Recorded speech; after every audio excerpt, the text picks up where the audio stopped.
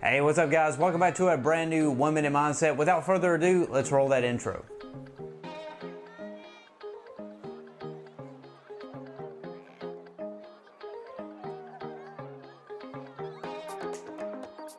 Welcome back to the video, everyone. Today's one minute mindset is all about focusing on the wrong scale. So, with that being said, 60 seconds on the clock.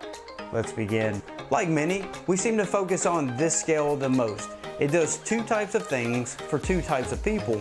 For one person, this is just data. It tells you what to do next. For the other person, it dictates. It dictates whether it's gonna be a banner day, a lackluster day, whether you're gonna be happy, sad, or depressed. It starts to dictate how much or how little you eat. This becomes such a piece of your identity. You find yourself weighing yourself once a day, then it goes to seven days a week, and then it goes to seven times in one day to multiple times every day.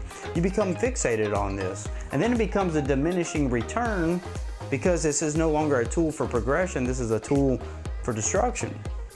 So, the challenge for today and the challenge moving forward is to stop scaling your weight and start scaling you. Start scaling yourself.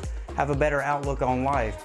Start working on scaling your mindset, your perspective, the time you spend with family, the time you do things that you love. Because at the end of the day, you don't want a diminishing return. You want a return on your investment. You want to scale yourself up instead of scaling yourself down. So I hope this video has been helpful to you. But until the next video, be sure to keep it real, keep it honest, and God bless.